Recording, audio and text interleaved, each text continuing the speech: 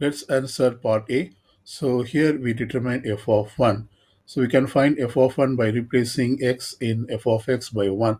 So when I do that, I get uh, 1 cube minus uh, 15 times of uh, x is replaced as 1. So it becomes 15 times of 1 square minus uh, 37 times of replace x by 1 plus, uh, 51. So let's simplify this. 1 cube is 1 minus 1 square is 1 and uh, when you multiply with 15 we get uh, negative 15 and then 37 times of 1 is uh, negative 37 plus 51 we add the positive numbers. 51 plus 1 is uh, 52 and we also add the negative numbers. That is 15 plus 37 is 52 but since it is a negative number we put a negative 52 so we get 52 minus 52 equals 0 so we say that uh, f of 1 this uh, equals 0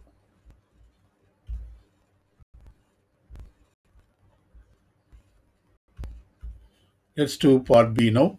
So here we have to rewrite f of x as a product of linear terms. So for this, uh, I'm going to use the part A uh, value. That is, we know that f of 1 equals uh, 0. So let me write this here. F of 1 equal to 0.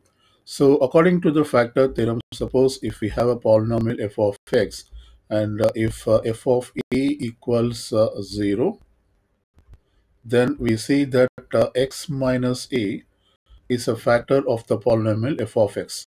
So this is by the factor theorem. So since uh, we determine that f of 1 equal to 0 for the polynomial f of x equal to as given in the right side expression, we see that uh, x minus 1 is a factor of f of x.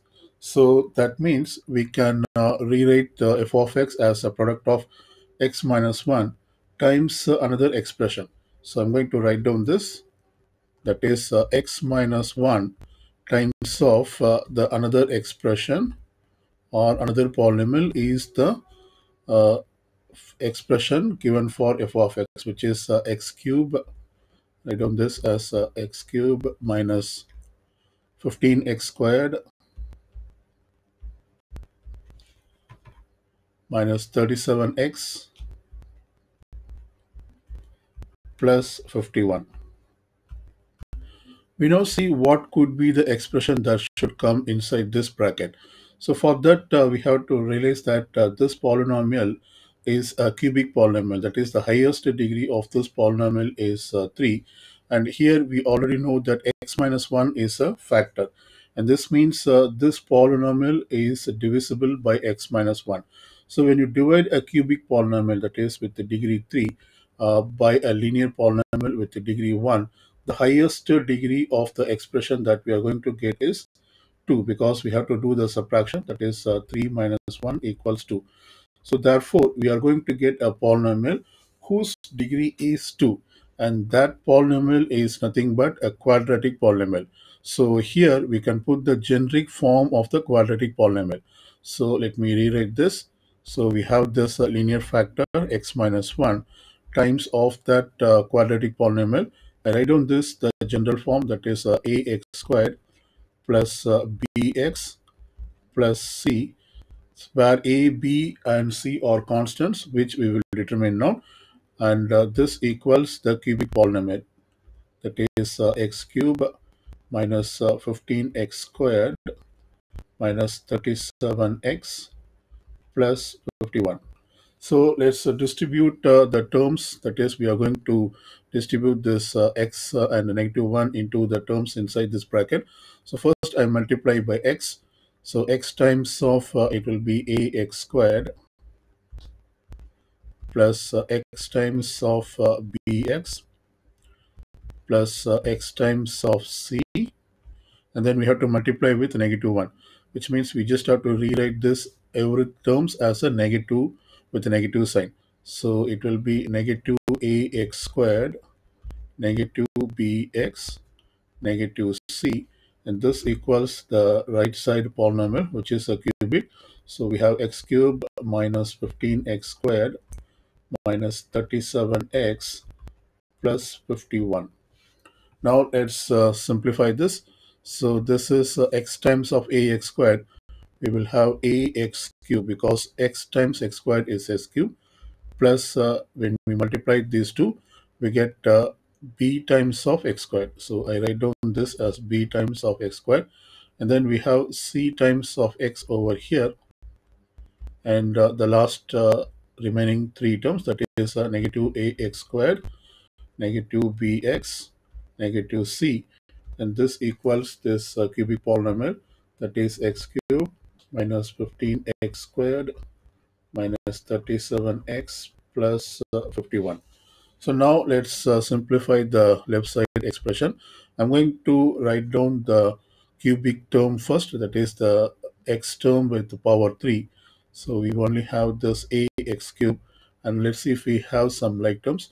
We have uh, x squared like terms. So when we factor the x squared, we will get uh, b minus a as the factor. So I write down this as b minus a times of uh, x squared and uh, we then have this x term that is cx minus bx. So when we factor the x from these two terms, we will get uh, c minus b. So I put this as plus c minus b times of x. And finally, we have only this constant term that is negative c. So I put this as negative c. And this equals uh, x cube minus 15x squared minus 37x plus 51. Now to determine the values of a, b and c, we have to uh, equate the corresponding coefficients. So first uh, let's uh, equate the coefficient of x cube. Uh, we, we have ax cube here and we have x cube here. So the coefficient of x cube here is a and here we can assume that it is uh, 1. So these two must be equal. So we say that uh, a equals 1. And similarly, we can equate the coefficient of x squared. So the coefficient of x squared is b minus a here, and the coefficient of x squared is negative 15.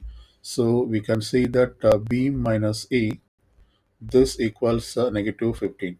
And since we already found that uh, a equal to 1, we can replace a equal to 1 here. So therefore it becomes uh, b minus 1. This equals uh, negative 15 and this gives uh, we can add uh, 1 on both sides so we get uh, b equals negative 14 so we have also determined the value of b.